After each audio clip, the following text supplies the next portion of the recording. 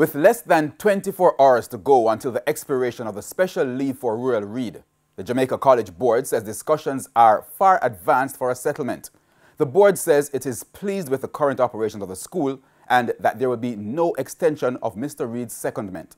Jamila Maitland has the details. The Jamaica College Board, in a statement today, says its recommendation for an extension of Ruel Reid's special leave was rejected by the Ministry of Education. But the JC Board signaled that a settlement is being negotiated instead.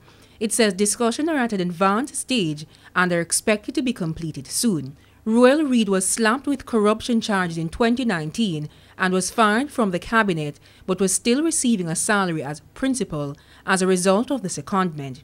That ends tomorrow.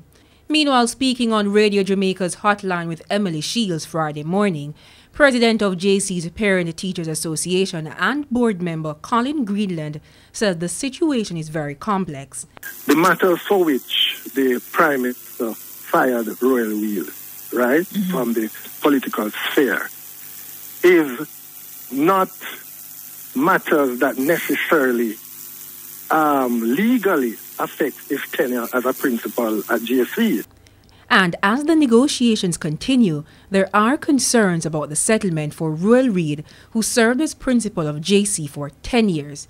But what's even clearer is that a large majority of the Jamaica College do not want him to return.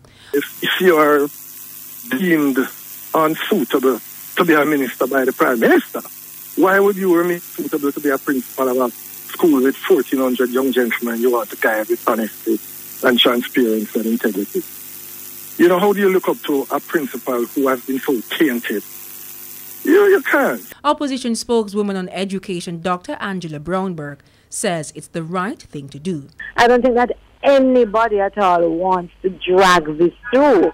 You know, I believe that CMU, in terms of their reputation, would have been uh, suffering and recovering now. We don't want Jamaica College to be there. And I say that as a Jamaica College mother myself. JC's board says the school has been doing well under the leadership of Wayne Robinson, who's been acting as principal since Reid's departure in 2016. It says the priority at this time is maintaining the current stability and status quo at the school. Jamila Maitland, TVJ News.